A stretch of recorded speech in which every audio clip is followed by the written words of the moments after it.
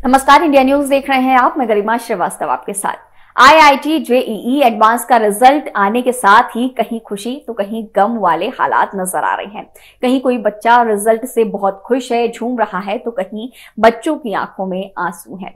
Internet पर result देखने के लिए दिन भर छात्र छात्राएँ व्यस्त दिखे। वहीं एले गार्डन हाई स्कूल रांची के छात्र और मूल रूप से लोहरदगा शहरी क्षेत्र के संजय गांधी पथ के रहने वाले आयुष कुमार सिंह के स्वरजनों ने जब रिज़ल्ट देखा तो खुशी का ठिकाना नहीं रहा।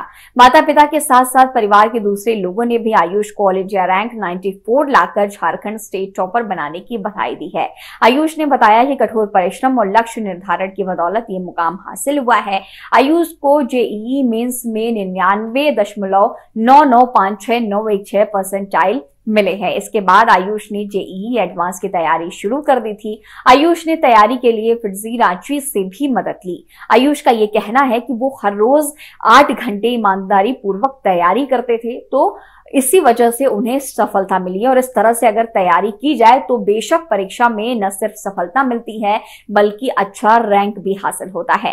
फिजिक्स, केमिस्ट्री और मैथ्स की तैयारी के लिए समान रूप से समय देना होता है। हालाँकि मैथ्स के लिए अलग से समय थोड़ा सा ज़्यादा निकालना पड़ता है, क्योंकि इसमें अच्छे मार्क्स की गुंजाइश होती है। साथ ही एनसीईआरटी से कोई सवाल नहीं पूछे जाने के कारण भी मैथ्स के लिए अलग से तैयारी करनी पड़ती है।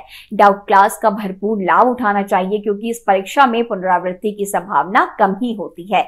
उन्होंने युवाओं को संदेश देते हुए कोर्स मटेरियल के लिए किसी एक संस्थान के भरोसे नहीं रहना चाहिए ऐसी बात कही।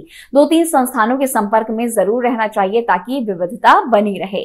पढ़ाई ईमानदारी से करे और एकाग्रता के साथ करे, सफलता ज़रूर मिलेगी। आयुष के पिता रवि भूषण सिंह हिंडाल को कंपनी के लोहरदगा रेलवे साइटिंग स्थित अनलोडिंग स्टेशन में साइटिंग इंचार्ज हैं, जबकि माँ नीलिमा देवी, शीला अग्रवाल सरस्वती विद्या मंदिर की शिक्षिका हैं।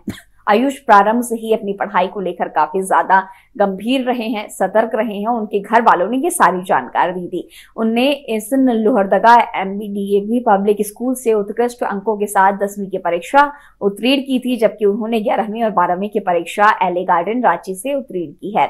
आईआईटी जेई एडवांस में पाँच रैंक लाकर झारखंड टॉपर गर्ल बनी धृति बंडवाल का कहना है कि आईआईटी जेईई एडवांस की तैयारी के लिए पूरी तरह से फोकस्ड रहना होगा।